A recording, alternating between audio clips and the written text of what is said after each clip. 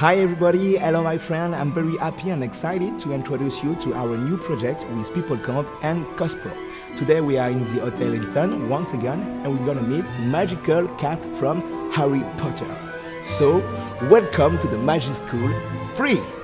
Lumos Maxima!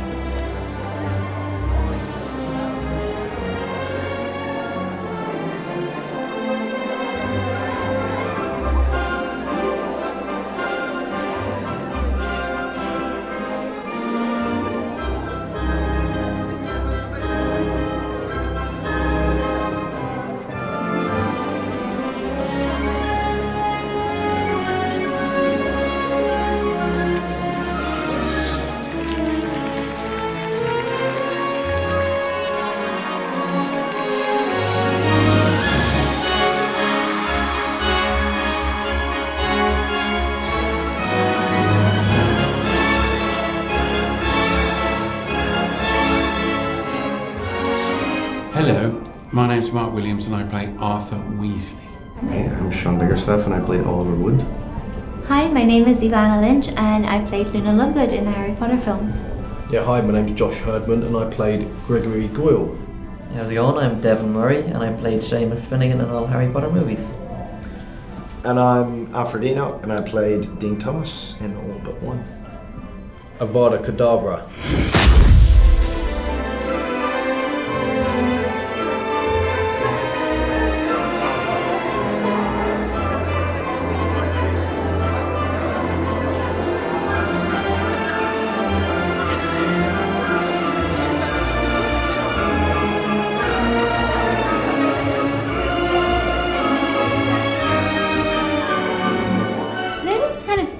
About, like most characters do have an arc. Any project I've done since, there is that growth. But Luna's just someone who's weird because she's always been so secure in herself and I think who she is as a teenager is pretty much how she will be as an adult. I knew what what I was going to do with Arthur. Um, I knew that I wanted him to be slightly more enthusiastic than Joe had written him, and Joe was brilliant because she always allowed the films to develop at their pace. how important friends are to her changes because I think I think she had become so comfortable, so used to being a unit, you know. The development was in terms of what the what the writers wanted from each film, but my sense of his character didn't really change, and It was very strange because I stopped filming and then there was a seven and a half year gap. And then I started filming again and so I went back to the same set. That was a big deal for her to accept that she had friends and people wanted to be her friends because she was so used to being okay with how other people saw her and, and not being approved of. And I, I had to sort of try and remember um, how I'd thought about, you know, what Oliver Wood's inner world may have been.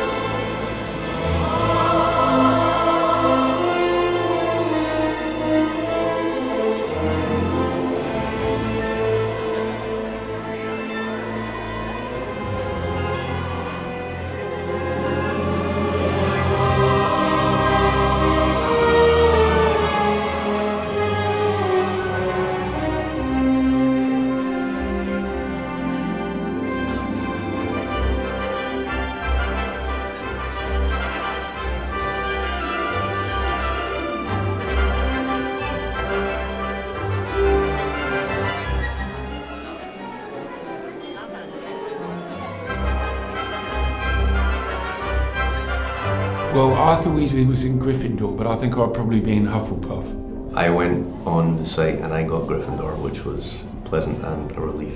I like bears. I was sorted into uh, Slytherin. I, I always thought Seamus Finnigan should have been an undercover spy for Slytherin. So I like to say Slytherin, but probably not.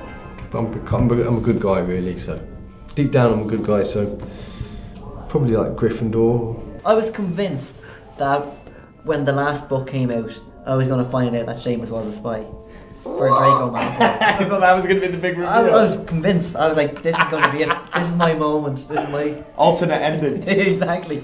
Gryffindors are passionate and um, follow their heart no matter what. Um, sometimes to a fault. I was on Twitter Huh? and somebody asked me, "Oh, th- would I dress up in Gryffindor or Slytherin robes?" I was like, "Slytherin." And Joe was like, "Traitor!" so maybe she's not behind your idea. No, idea. she's not Your behind my undercover, undercover Shea- Seamus Finnigan idea. But I think that would have been really, really cool. Can you imagine? A lot of my friends are Slytherins and Ravenclaws, and I think it's because they're the, the houses where they, they think with their head, whereas we think with our hearts, and that is not always the wisest thing. And I think you need those head people to kind of temper you and make you be sensible. Well, at Housemate, I did the. I didn't do it for ages because I was so convinced of what house I would be in, and uh, I was right. I was a Gryffindor. So I was like, yeah. I was feeling pleased with myself about that. Not that you know, not that any one house is better than the others, but Well, they are. but it Slytherin's the best. Wow. Uh, yeah, I will rush into things out of a feeling rather than is this sensible or is this wise. Um, but I like that as well about Gryffindors, um, and I like that they always they have a real deep sense of integrity and they always fight for that. Yeah. So yeah, no house is better than the others. Only a Slytherin would say that. Um, Gryffindor would think it, but not Shea. Yeah, exactly. I have rabbit harp string home. Turn this water into rum.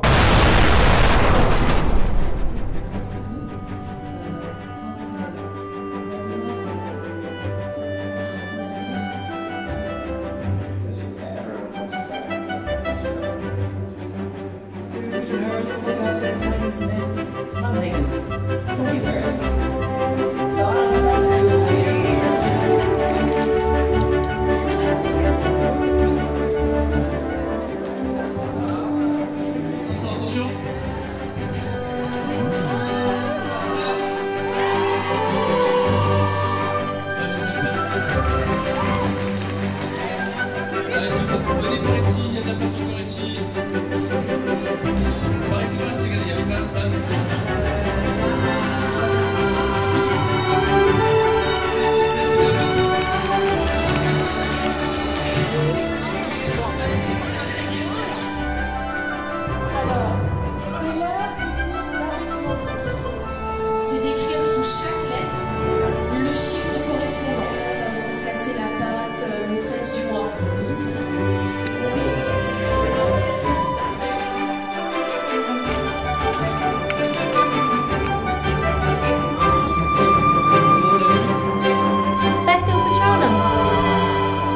We, we all came onto Harry Potter so young, like 11, 12 years of age.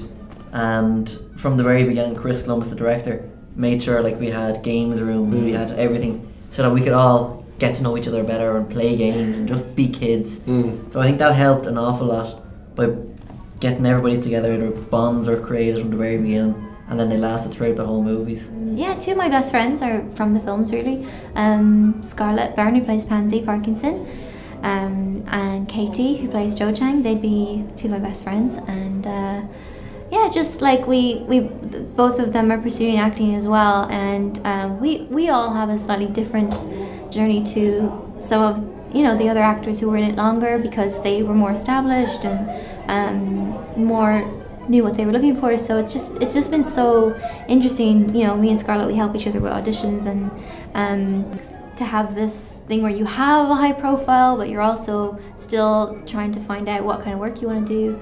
That's why also one of the nice things about doing doing conventions as well is seeing fans that care so much about it even after such a long time we get to see each other and spend time again together after like you know sometimes quite a long time because people are all over the world doing all sorts of different things. That bond is very important in life. And then everyone else I just I see all the time and we're close and we go out in cities around the world and that's fun. Um, but yeah, it's just it's like a family. You don't have to keep in touch, but there's always that closeness.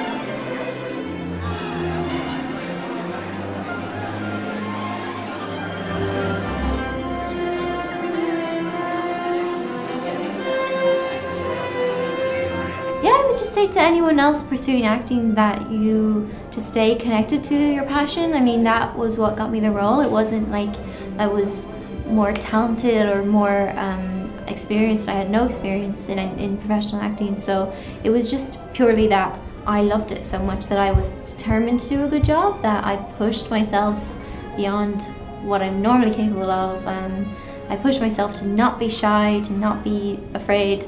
Um, so yeah, I would always say focus on the passion and to surround yourself with people who um, believe in your dreams and um, your potential. Because there are a lot of people in, especially when you pursue the arts, anything that's kind of unpredictable and it, on that alternative route, people will try and talk you out of it, and you need to surround yourself with people who um, make you believe in these impossible scenarios. Yeah.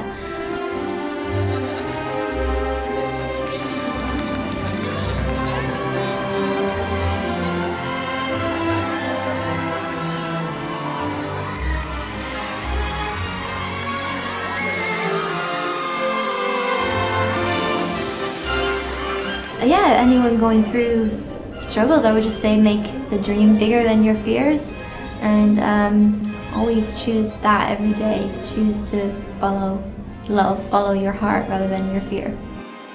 I was happy with what I did. I don't have any regrets. Uh, and uh, I've enjoyed it. And I'm really pleased for Joe and um, Newt Scamander uh, and also for the stage show. It's, it's not something you're ever going to forget about. It was such a huge experience for me personally, and I was a you know, small part of what was such a huge phenomenon the world over. Euh, alors, j'aimerais dire, j'ai grandi avec euh, Harry Potter. C'est vrai que chaque année, euh, dès que les films sortaient, je grandissais en tant que le personnage.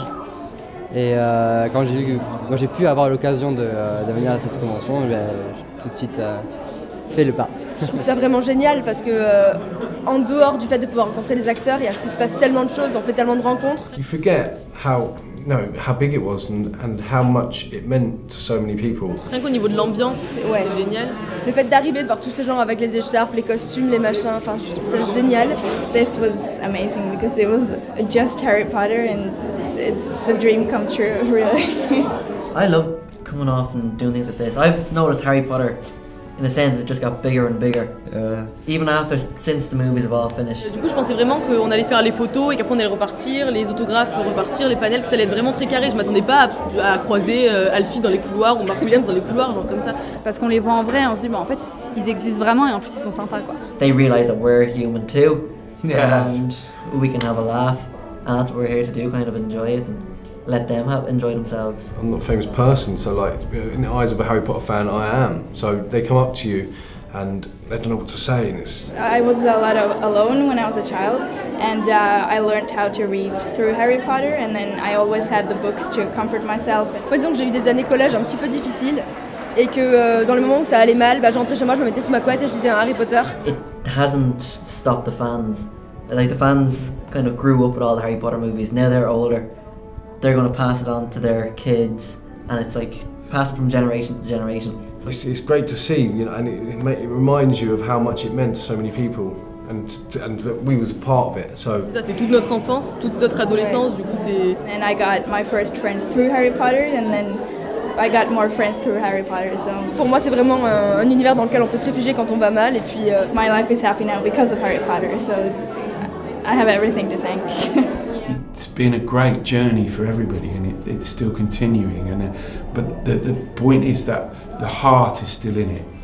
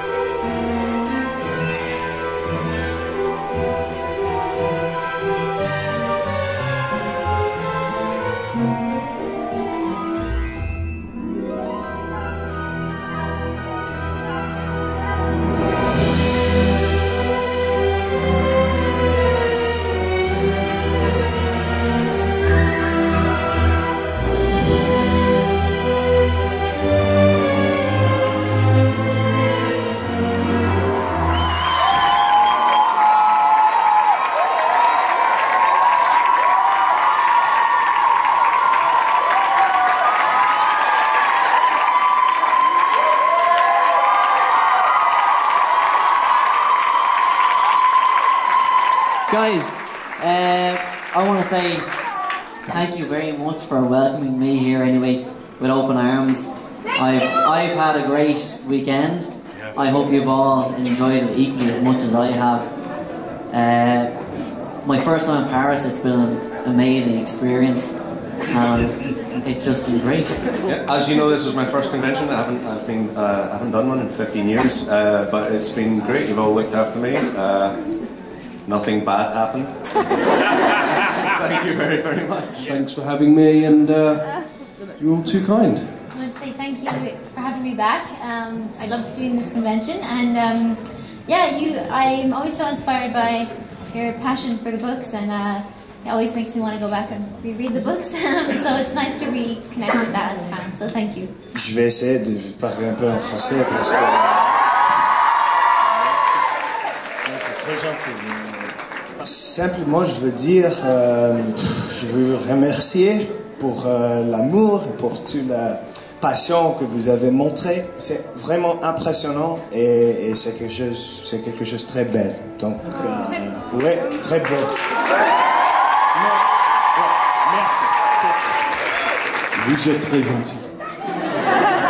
Et nous aimez-vous aussi.